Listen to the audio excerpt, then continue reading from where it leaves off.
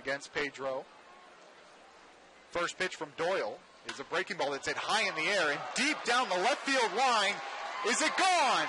Goodbye! Home run, Pedro Severino. Doyle hung the breaking ball and Severino crushed it. Barely taking a step was Quincy Latimore in left and the only question was would it stay fair and it did. One hops the Senators team store. Severino stirs the pot as he crosses the plate and the Senators have cut the lead in half, two to one here in the fourth. Severino's fourth home run of the year.